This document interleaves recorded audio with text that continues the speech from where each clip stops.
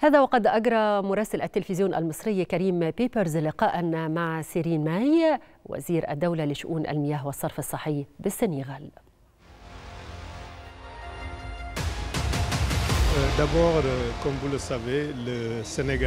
كما تعلمون فإن السنغال مهتمة جدا بمشكلة المياه على المستويين المحلي والمستوى العالمي. تتذكرون أن الرئيس السنغالي ماكيسال كان من أوائل الذين ناقشوا موضوع المياه والسلام والأمن وذلك في مجلس الأمن بالأمم المتحدة. والسنغال استقبلت في مارس 22 المؤتمر التاسع للمياه. كما أن السنغال تشارك هذا الاهتمام بالمياه مع مصر. ولذلك فإن السنغال كانت حاضرة في الثلاث اجتماعات الأخيرة لأسبوع المياه بالقاهرة. ولهذا أيضا فإن السنغال تشترك اليوم في مصر في مؤتمر 27 وتطرح مشكلة المياه مع بالمشاركة مع مشكلة المناخ لأننا لدينا أزمة مياه وأيضا أزمة مناخ ولذا فإن الاهتمام بهاتان الأزمتان تجعلنا نعيش في عالم مزدهر وأكثر تضامنا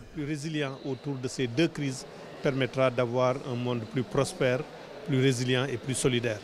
Je pense que l'initiative que l'initiative AWARE أعتقد أن مبادرة مصر والتي اتخذتها أثناء التحضير لهذا المؤتمر لمؤتمر كوب 27 أثناء الأسبوع الأخير لمياه القاهرة ومبادرة إعلان دكار والاتفاق تم التوصل إليه بأمن المياه أعتقد أنهم مبادرتان لم تتخذ فقط من جانب جمهورية مصر ولكن أيضا من جانب دول أخرى والاتفاق الذي كان نتيجته من نتائج مؤتمر دكار تم اتخاذه أيضا من جانب المجلس الأفريقي للمياه وسوف يتم دعمه من جانب مصر. وأعتقد أن هاتان النتيجتان التي ستجعلنا نتقدم في مجال مشكلة المياه ونستمع لصوت أفريقيا. أفريقيا على المستوى العالمي نعم. أعتقد أننا يجب أن نؤكد على المراحل الانتقالية على المستوى البيئي وعلى مستوى مشكلة المياه.